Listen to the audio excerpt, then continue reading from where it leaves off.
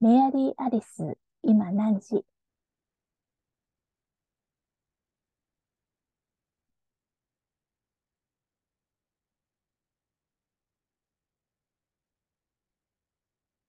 牛のジョンソンおばさんは時計を合わせようと思って電話サービス会社の番号を回しました。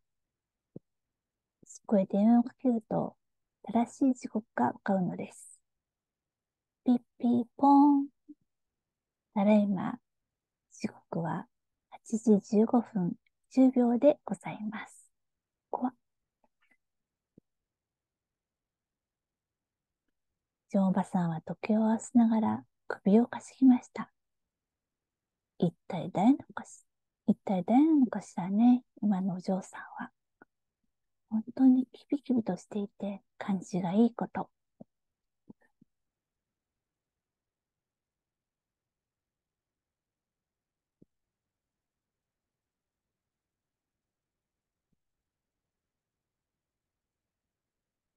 それはアヒュンのメアリーアイスでした。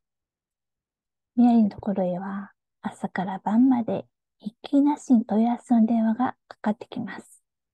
その度にメアリーは弾むような調子で時刻を読み上げました。ピッピッポーン。ただいま時刻は8時16分でございます。ご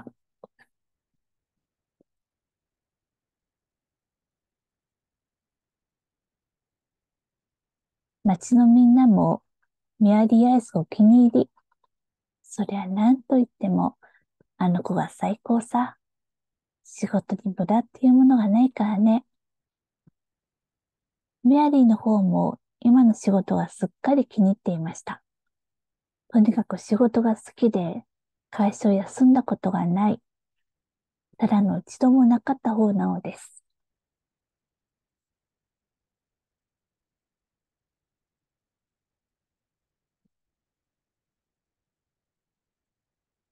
ところがある日、困ったことが起きました。喉がヒリヒリ、鼻の子がムズムズ。そのうち、鼻水が出てきて、胸がぜいぜい言い出したのです。メアリーは社長の面倒に言いました。なんだか風邪をひいたらしいんですけど、いけないね。それはすぐに家へ帰らなきゃ。ヒアリーは仕事のことを考えて、ちょっと迷いました。平気平気、と面倒し社長が言いました。あんたが良くなるまで、誰か代わりを頼むとするさ。何？大した仕事でもないんだから。おかげでミアリーは一層がっくり。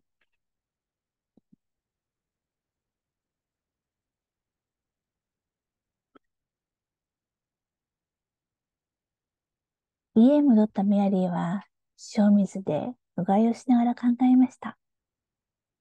誰が代わりをやることになるのかしら。気が燃えるわね、本当に。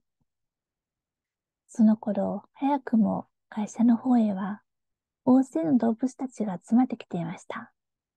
みんなメアリーの後釜を狙って押しかけてきたのです。とにかく一遍試してみないと。面倒社長はまず蛇のエリックを呼び出しました。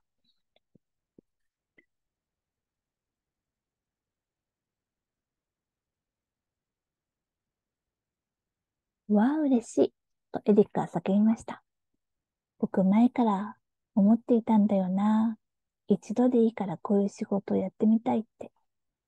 でもあいにくエリックには気味の悪いそぎそ声を出す癖がありました。ピッピーポーンただいま、時刻は10時20分でございます。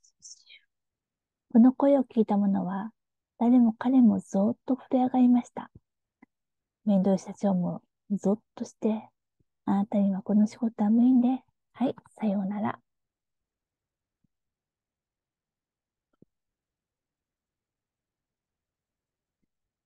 お日様はいつおじさんはいつやらせてもらえるんだい？インのジェイクは偉そうに言いました。よし、やってもらいましょう。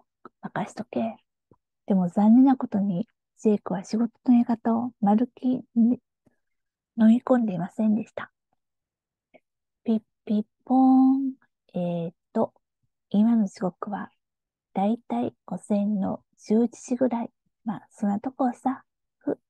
結構面倒だな、この仕事だね、こりゃ。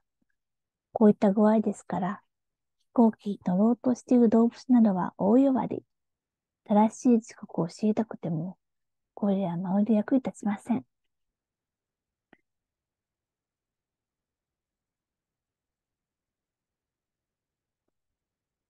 その頃メアリー・アイスの方は、ベッドの中で、しきりにくよくよとしていました。仕事のことがどうにも気になって仕方がないのです。代わりのものの方が仕事がうまかったりしたらどうなるでしょう。ひょっとすると私このままクビになってしまうんじゃないかしら。じっとしていられなくなったメアリーは面倒施設に電話をかけました。心配しなさんなって、メアリー、うまくいってるから。やっぱり私クビかもね。メアリーはますますしょんぼり。そうとは知らない面倒施設長は、アルマジオのチャーリーを指さすと、はい、お次の番。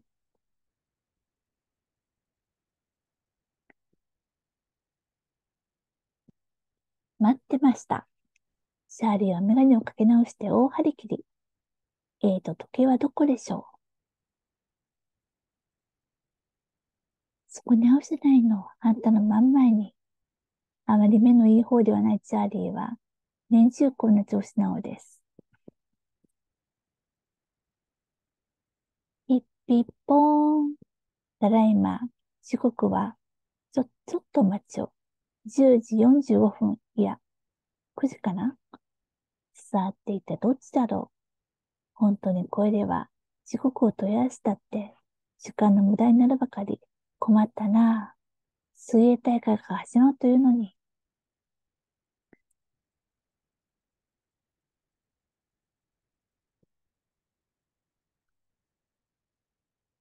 次に出てきたのは、平野のコニーです。まあ、見てらっしゃい。コニーさんが出てきたからには、面白いことになるからね。でも一つだけ問題がありました。コニーは街でも評判のお菓子狩り屋だったのです。ピッピッポーン、うふふ、はは。ただいま時刻は、うふふ、あ、おかしい。ははわははは。みんなの耳に飛び込んでくるのは、コニーの笑い声ばっかり。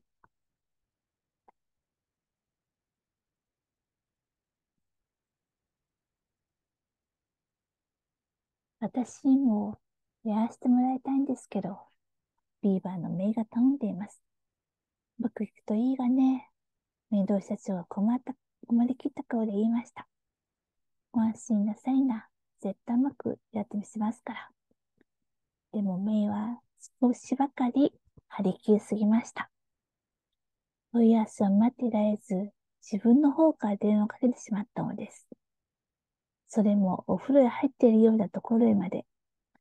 面倒社長はため息をつくと、ご苦労さん、またいつかね。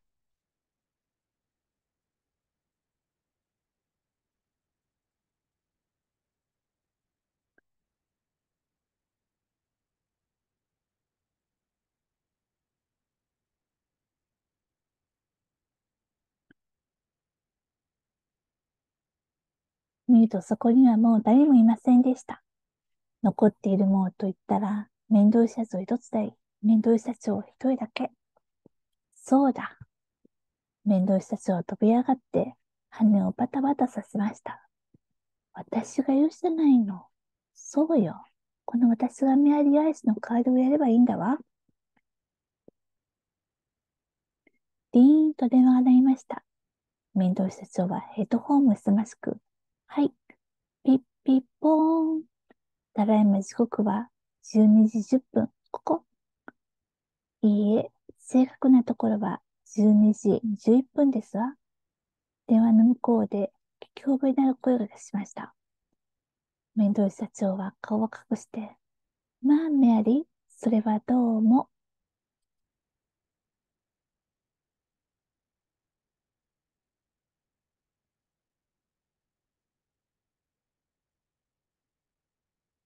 風が治って会社へ出てきたメアリーアイスは、机の上に贈り物の包みが置いてあるのを見つけました。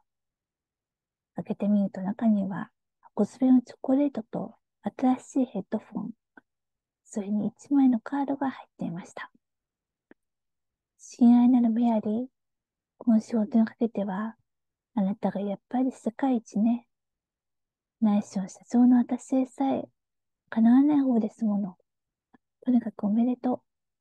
風が治ってくれて本当によかったわ。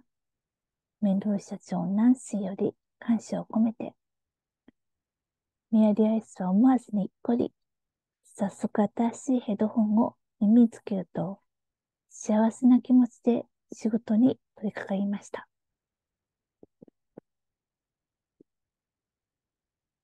ごしまい。